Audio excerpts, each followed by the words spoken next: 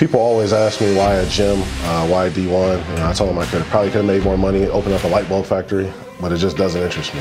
You know, just being in the sports world, uh, still being involved with kids, with the youth, uh, really grounded in the community, and I'm still getting that uh, atmosphere that I'm accustomed to, that I, that I really love, which is that sports, that competitive, that that athletic background. I mean, it's, it's something that will always be a part of me. A lot of guys play professional sports and they don't watch it. You know, they're not fans. That was just their job. But I'm a true sports fan. You'll find me watching a, a women's volleyball collegiate match.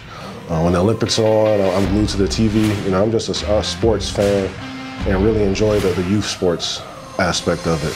Uh, the concept of the of team, um, accountability, all the things that really come into play when you're a part of a team. Those are those are things that I love and enjoy, and I still get my taste of that here at D1.